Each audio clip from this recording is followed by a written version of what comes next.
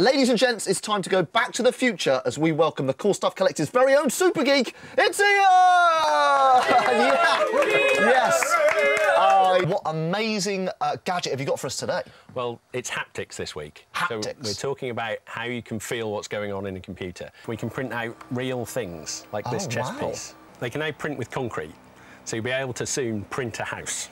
What? Sorry, sorry, stop me there. So you'll be able to print a house. You will be able to print a house. Anyone will be able to print a Anyway, house. I don't know that I will. Once you've got a model inside a computer, you can manipulate it in all sorts of ways. You can change the colour and the shape, you can animate it, you can drop it into games, you can oh, make that's- movies with it. AR is augmented reality. This is a banana. It knows whether the marker's being turned, if it's doing in a different way. You can see the bananas moving around there. Upload the picture of you, Yeah. and then from that, it will then create a 3D version of your face. And then you put it in these game engines and it makes it quite easy. You still need to have a bit of skill, but quite easy to put those things together and to make games, make movies, make all sorts of things. Understand where you are in the room and use your body as a controller. There's nothing to hold, it's just controller-free gaming. Oh, no, there's a big rock, Right, Ian. There's a big let's rock. go right, right, right. Do you know what, Ian? We're Here we naturals go. at this. We are ready. We should team up. Go Is this this a jump? Ready, ready. Oh, jump. hey!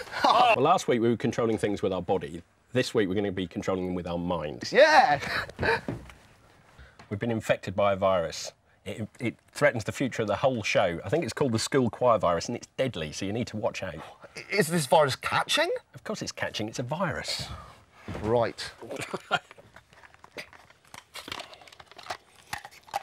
So I said I wasn't going. Whose idea was this anyway?